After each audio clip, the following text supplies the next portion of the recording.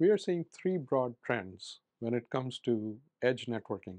The first is the distribution of applications across multiple edge clouds and across edge to public clouds. Many other speakers have talked about it. And what this is doing is it's driving the need for extremely flexible networking from edge to edge, edge to public cloud to multiple public clouds, and then between public clouds, multi-cloud connectivity. So that's the first trend we are seeing, and we are seeing a dramatic rise in the need for dedicated public cloud connectivity. I think that's on a huge upswing, and we'll see more and more of that. The second trend we are seeing is in on-demand or cloud-like consumption of networks. So networks have traditionally been static. So if you get a dedicated uh, pipe to AWS or GCP or Azure, you know, it sits there for a while.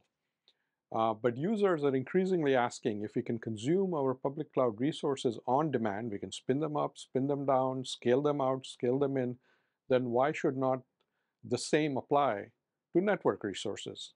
So I think that's going to be a huge trend where you'll be able to spin up connections, spin them down, optimize them dynamically as needed. And that's going to unlock some amazing behavior. For example, you could have your workload on one public cloud today, and let's say you find a cheaper spot pricing tomorrow, you can shift the entire workload and um, things keep working.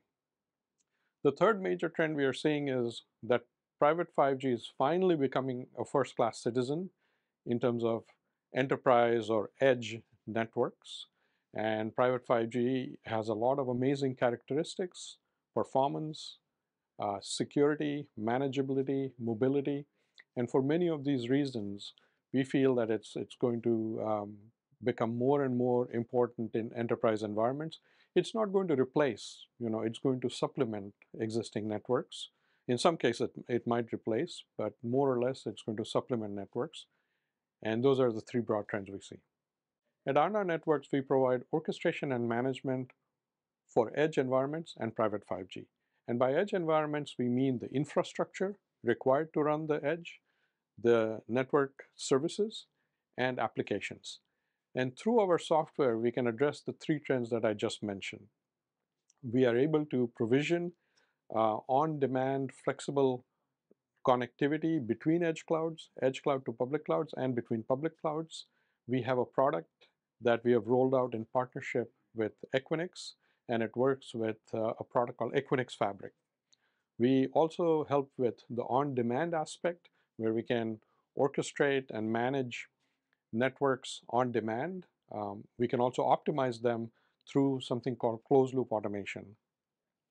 And finally, we also orchestrate and manage private 5G networks where users are increasingly looking for a single pane of glass. They don't want to manage the RAN, the core, the Kubernetes layer, hardware, uh, grandmaster, backhaul switch separately. They want one single pane of glass, and that's another thing that uh, our software does.